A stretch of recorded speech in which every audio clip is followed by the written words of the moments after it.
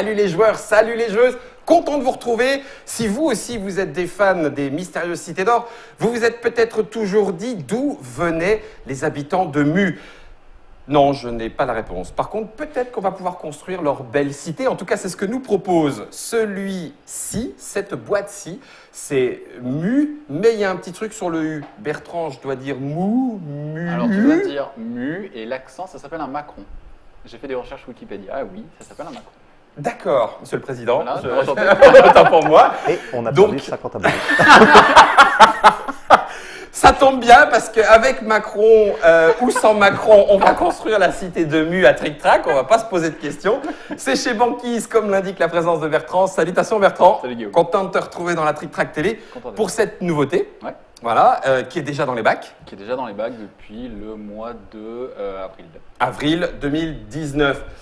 Et puisqu'on ne pouvait pas avoir euh, Monsieur le Président, on va se contenter, si vous le voulez bien, des auteurs, puisque euh, David et Johan sont avec nous. Salutations. Je ne vais pas me tromper. Donc David, c'est You Shall Not Pass. Yes. Hein et Monsieur Benvenuto, bienvenue. Benvenuto. Oh la blague Johan est ravi parce que juste avant, je le charriais un petit peu l'émission pour savoir est-ce que je dis bien son nom, comment, Johan, Johan? 50 quicos pour ceux qui 50 trouveront la vanne. C'est donc, ce sont donc les deux auteurs de Mu. C'est illustré par Monsieur Al... Aublin. Aublin. Sylvain J'allais dire Aublin. Albin. Sylvain Aublin. Euh, on peut y jouer de 1 à 5 joueurs. Ce n'est pas une erreur. On peut donc y jouer en solo. Il y a une version solo, tout à Une fait. version solo. Validée par vous, messieurs les auteurs Validé par nous. sans Validée problème. par vous. Ça se joue à partir de 10 ans, voire peut-être même un petit peu moins, à partir de 25 minutes la partie. Vous avez donc toutes les euh, informations sur le bon titre et ça coûte Et ça coûte 25 euros. 25 euros. On revient du petit festival de Paris et Ludique. J'en profite. Nous sommes actuellement, au moment où on tourne cette vidéo, en juin, juillet 2019 même. Et ça a plutôt bien. Ça a plutôt bien marché. Ça fait plaisir. Oui, bah oui, Enfin, je, pourrais d'ailleurs me demander ça à Joanne et à David. Ça fait plaisir. Ouais, toujours. David, c'est le premier. Alors, c'est mon premier jeu, ouais. C'est édité. Voilà, édité, bon, je- voilà. Il y en aura d'autres. Ouais. A priori, A c'est bon. priori, il y en aura d'autres. Joanne, je ne demande même pas. Ce n'est pas mon premier nom, non. Non, et puis il y en aura Mais d'autres. c'est ma première Tritrac TV par contre. Ah, ça fait plaisir. Allez, je vais mettre ça dans le deux verres de Trick Track puisque l'objectif pour vous est quand même de voir si le jeu est fait pour vous ou pas. Et Fal va pouvoir réaliser pour vous montrer comment ça joue. Je vais mettre ça dans le deux verres de Trick Track. On va construire euh, une cité, ça visiblement c'est assez clair. On a un 3 par 3, ça me paraît clair aussi. Mais alors il y a des bouts de trucs et de machins. Ça, ça te Là j'ai clair. oui c'est ça. Là j'ai besoin de toi Bertrand. Bah, ça tombe bien, Dis-nous tout. pour ça. Donc dans Mu, le but, ça va être de construire la plus prestigieuse des cités sources. D'accord? Donc pour construire cette prestigieuse cité source, on va poser des bâtiments sur notre plateau. Tiens si tu veux bien je vais le poser sur le Mais mien comme prie. ça on le verra en caméra déportée. Et du coup, tu vois que ces bâtiments, bah, ils ont plusieurs informations. Ils ont, ils ont déjà une couleur générale, ils ont un petit Ah. symbole qui est en haut à droite, et ils ont des sources aux quatre coins. Donc couleur, c'est la dominante qui est par C'est là. ça, mais qui est surtout, regarder une autre bien sûr, rappelée par Oui. le symbole en haut à droite, c'est-à-dire que la couleur correspond au symbole. Donc les composantes jaunes, elles ont un symbole jaune, la composante ici, elles ont toujours ce même symbole. D'accord. Et tu vois que ces bâtiments, ils ont aussi des sources. Et si à un moment de la partie, tu réalises une source complète, c'est exactement ce que tu viens de faire ici, tu vas immédiatement récupérer un jeton de la couleur. Donc ici, un jeton jaune que tu vas pouvoir poser sur un de tes projets qui vont être à côté. D'accord. Donc ça, c'est la Ça, c'est l'autre élément. de mu. Ça, c'est composant projet et je dois les réaliser avec. Mais euh, attends, quand tu m'as dit ça, immédiatement, moi, j'ai une question. Vas-y, vas-y. Si je l'avais fait ici, Ouais. Alors, je dois choisir ou je gagne deux d'un coup Tu gagnes deux d'un coup et le but, ça va être de gagner le maximum de sources pour compléter un maximum d'objectifs. Donc, on l'a dit, on va construire une cité Mhm. avec plusieurs bâtiments. Ces Mhm. bâtiments sont composés d'un symbole et de demi-sources. Mhm. Quand tu complètes une source, tu gagnes un jeton que tu places sur un de tes projets. Quand les projets sont complétés, ils vont te donner des points de victoire à la fin et un petit cartouche qui te dit bah, à ce moment-là, réaliser tel pouvoir. D'accord. Donc c'est comme ça qu'on marque des points dans Mur. On a Facile. plusieurs types de bâtiments. Du coup, je vais t'expliquer les cinq types de bâtiments et comme je m'y suis préparé un peu à l'avance, T'as fait les choses. j'ai fait les choses à peu près correctement. Un- un- et vous avez un Ah, éditeur oui. professionnel, Ouais, bien ah, sûr. ouais, hein, on est rassurés. C'était un peu trop tard en même Ouais. temps, David.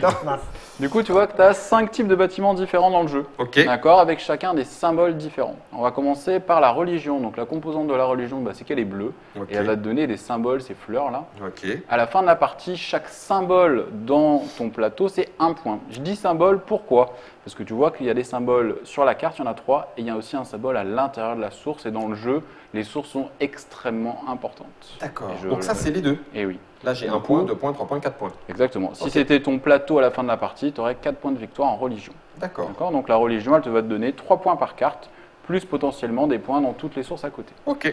Tu as aussi la nourriture. La nourriture, elle va aussi te faire un poids par symbole nourriture, qui soit sur la carte ou dans la connexion, dans la source. Ils, ils ont. euh, attends. Vas-y. Je- Ah, ils ont pas tous. Ils ont Et tous non. quatre, mais ils ont pas tous en monocouleur. Bah non, c'est même extrêmement rare les monocouleurs, il n'y en a qu'un seul C'est que là, as deux pour le coup. Oui, c'est coup de bol. Et Donc coup, là, du coup, un point par. euh, alors, la différence de la nourriture, c'est que la religion est très facile à installer. Parce que tu vois que chaque carte donne 3 points. La nourriture est plus difficile à installer parce qu'elle ne donne que 2 symboles. D'accord. Par contre, si tu as plus de symboles que de bâtiments à la fin de la partie, tu vas marquer 2 points pour symbole excédentaire. Donc, imaginons que tu aies 9 bâtiments sur ton plateau, que tu as 10 symboles, le dernier symbole vaut double, et donc tu marques 11 points. Donc, c'est pour ça qu'il y a moins de symboles que la religion, parce qu'elle va rapporter plus de points si tu l'accumules, euh, si tu en Ils s'en font suffisamment. C'est ça. Quand tu parles de ces symboles excédentaires, c'est juste la nourriture. Juste la nourriture. C'est ça. Donc ça veut dire que si tu as suffisamment de réserves de nourriture pour l'entreposer, Mhm. si on se raconte la petite histoire, Ouais, ça. ça, ça vaut des points en plus. Exactement. Et si tu en as moins Si tu en as moins, il n'y a pas de malus. C'est-à-dire que tu vas nourrir ce que tu peux nourrir. gentil. Ok. On a été un peu plus méchant sur les combats, on verra juste. Ouais. Habile transition. Euh, bon. Allez, vas-y, c'est Transition, parti. combat. Transition, les combats. Qu'est-ce que c'est que ces symboles rouges ici que tu vois et sur les cartes et dans les connexions? Je le Mhm. Rappelle encore une fois, les connexions font partie intégrante du jeu. Le Mhm. gameplay est pensé pour ça. On va faire des combats entre nous. Tu vois, on va trier des combats avec une carte visible pour le premier combat au bout de trois cartes, une carte visible, une carte face cachée pour le deuxième combat à six cartes, et enfin une carte visible, une, face, une carte face cachée pour le dernier combat à 9 points. Alors ça, c'est parce que là, tu les as Elle est installés face- et elle, elle est, c'est déjà prévu. C'est ça, Ça, j'ai ce déjà fait la mise en place. trois combats. C'est les trois combats qu'on va faire. En gros, tu as six cartes combat dans le jeu qui représentent les colonnes et les lignes. On en a écarté une pour avoir un peu de chaos et d'incertitude. D'accord. Et on sait que le premier combat, au bout de trois cartes, se fera dans la colonne centrale. Ce qui veut dire que quand on va placer nos bâtiments, on les place où on veut, comme on veut. On n'est pas obligé de respecter les connexions. Si j'ai envie de placer cette carte-là, alors elle connecte avec rien, je le j'ai le droit de le faire. Mmh, d'accord. Mais du coup, je vais mettre deux symboles de combat justement Au dans la colonne du milieu pour dire au moment du combat qui a le plus de symboles de combat. On va compter les symboles qui sont sur les cartes et dans les connexions. Celui qui a le plus va gagner 3 points de victoire. D'accord? Celui qui a le moins va prendre une blessure.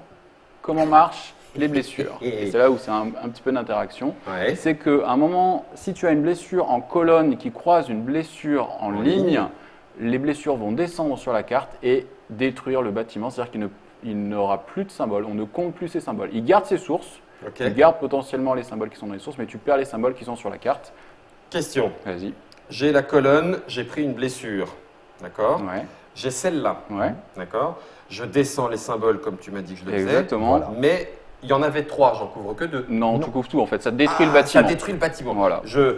Bah, tu l'as Ah très non, bien tu fait. retournes pas la carte parce Non. que finalement les connexions sont encore Eh possibles. oui. Ah Eh oui, tu d'accord. gardes les sources. C'est Ok, très important. d'accord. Ah oui, c'est super important. Oui. Euh, euh, deuxième question. Là, tu m'as parlé, je l'ai installé ici parce que c'était la colonne. Ouais. Potentiellement, je peux me dire peut-être ça va me servir une deuxième fois dans la ligne, même si elle n'est pas en visible encore. Bah, t'as tout compris. Tac, tac, tac.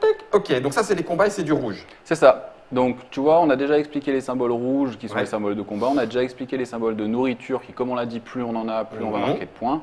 On a le bâtiment politique. Le, ba- poli- le bâtiment politique, il a le mix. Il a et du combat et de la nourriture.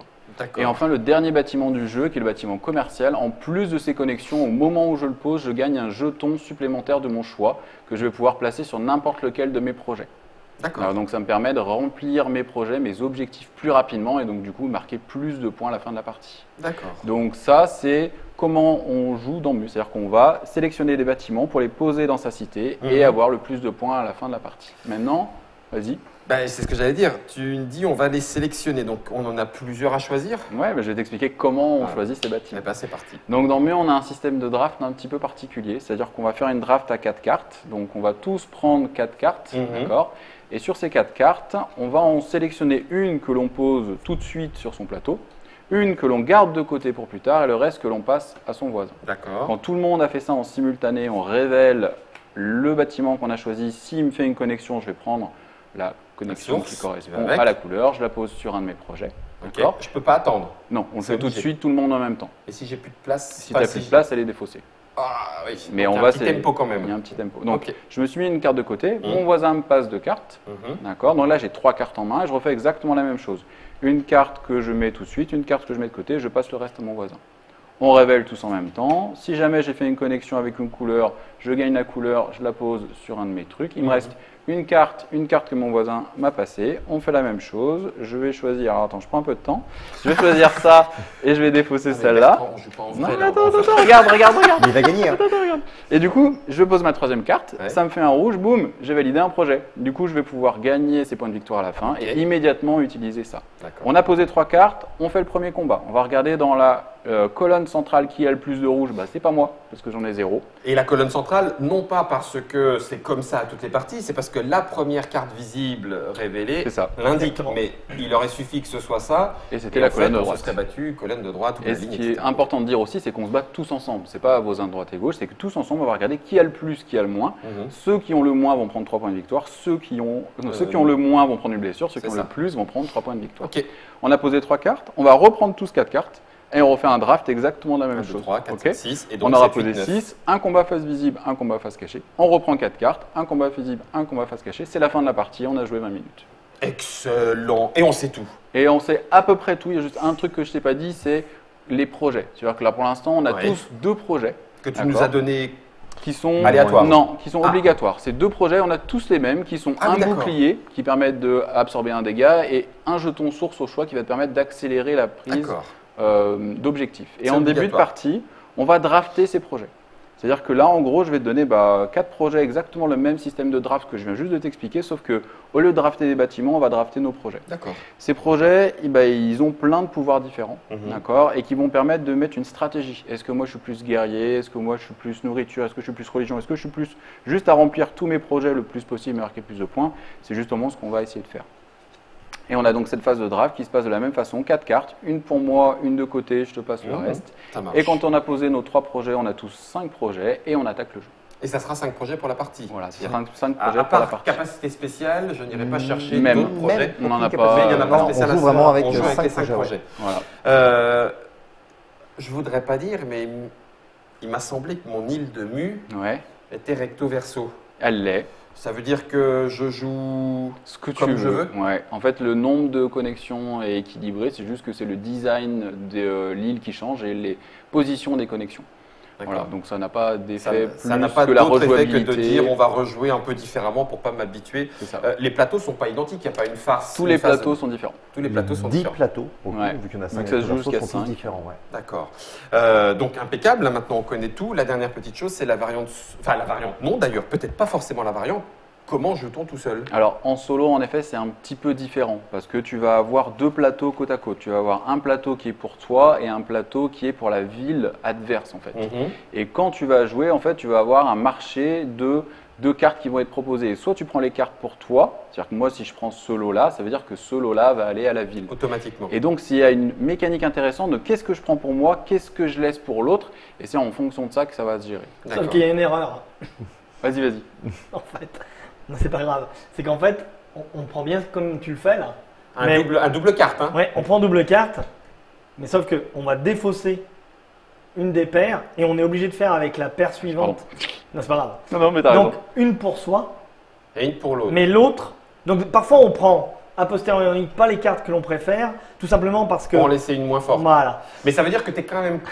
On est, pas grave. on est quand même conscient que Oui, c'est pour ça que tu me regardais bizarrement.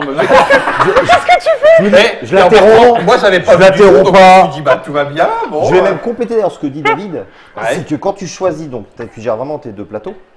Et Tu choisis un lot. Tu choisis un c'est lot. Voilà. Je vais la mettre là, mais il faut savoir que la seconde va aller exactement au même endroit du plateau Ah, c'est adverse. ce que j'avais posé comme et question. oui, donc il va là. Et après, il va y avoir un petit comptage donc, de mon score auquel va se soustraire ce que va gagner mon plateau adverse. Ah. Petit comptage que vous verrez dans les règles, mais voilà. Ouais. Donc en fait, Ah, je oui. veux la mettre là, oui. Mais Mais, elle va trop bien celle-ci. Ah oui, et donc puis lui va on peut-être me battre en combat. C'est ce que j'allais te dire. On est, on, on- parce que sinon on aurait pu faire exprès de lui construire n'importe quoi. sûr. Et bah non. Donc là, on joue en miroir. Exactement. Donc, on sait automatiquement que ça va s'agencer pour avoir nos 9 et nos 9.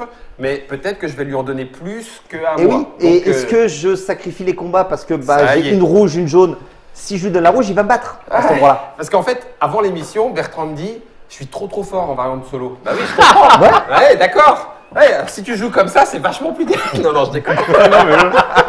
Non, mais Non, c'est non, pour c'est ça aussi que qu'il nous a invités. hein. Oui, c'était pour ça Heureusement qu'ils sont là. Ce sont les explications de Mu, un jeu de David et Johan qui sont présents ici. Merci à tous les deux. C'est illustré par Sylvain Aublin. Chez Banquise Édition, c'est d'ores et déjà sorti. Ça coûte, on va le redire, 25 euros. 25 euros. Ça peut se jouer tout seul, jusqu'à 5. Ça dure une vingtaine, 20-25 minutes. Le mieux, encore du mieux de du mieux, bah, c'est pas simplement d'écouter les explications, parce que peut-être que les explications ne vous auront pas convaincu, ou, ou à tort, ou à travers. Le mieux, c'est d'y jouer. Le mieux, c'est d'y Et jouer. vous allez voir que derrière. euh, non, je voulais faire un jeu de mots avec U, mais euh, dans ce qui rime en U, j'ai pas trouvé. euh, je vais laisser l'antenne. Fal, tu peux. vas-y.